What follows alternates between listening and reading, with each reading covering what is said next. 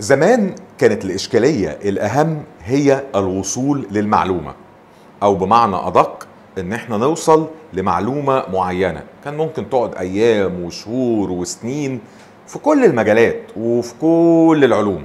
ده كان التحدي الأهم. لكن الوضع دلوقتي اختلف تماما.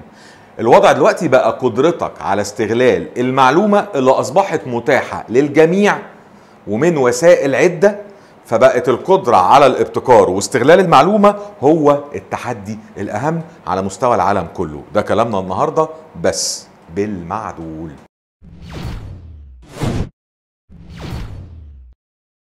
مساء الخير على حضراتكم. من الآخر كده وزي ما قلنا في المقدمة دي كل الحكاية. زمان كنت عشان توصل لمعلومة بتتعب وتقرأ في الكتب وتجتهد وتوصل لمعلومة وتقارن وتأكد عليها من هنا وتجيب الموسوعة ومش عارف وتفتح. الموضوع اتطور مع بداية الألفية الجديدة ومع ظهور النت والعديد من محركات البحث اللي ابتدت تظهر تباعا الموضوع اختلف 180 درجة. وأصبحت الدنيا وبسرعة فائقة المعلومة متاحة لأي حد على الإنترنت. أنت بتكتب كلمتين على جوجل بيطلع لك حاجات كتير قوي. سواء جوجل أو غير جوجل. محركات البحث سهلت الموضوع على الناس وسرعته وبقت المعلومة متاحة لأي حد في أي وقت وأي مكان. فأصبح الهدف مختلف.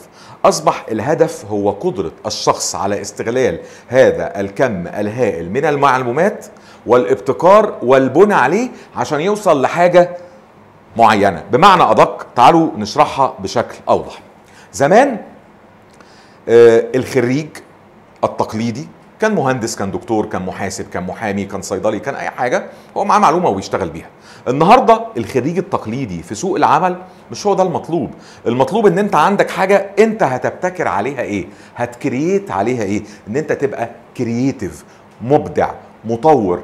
ده اللي بيتعمل على مستوى العالم وده اللي الدولة المصرية بتعمله النهاردة في التعليم. ليه؟ مش مجرد تطوير من باب التطوير لأن سوق العمل في العالم اختلف. المهندس التقليدي والدكتور التقليدي والمحاسب التقليدي والإعلامي التقليدي زي ما بقول لحضراتكم في كل المجالات المعلومات بقت متاحة وبسهولة.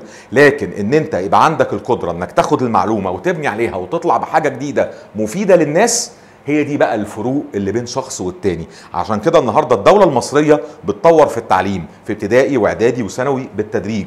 نصبر ونساند ونفهم ونغير دماغ ولادنا وثقافتهم. ليه؟ لأن ولادنا دول هم المنتج اللي هنبني عليه.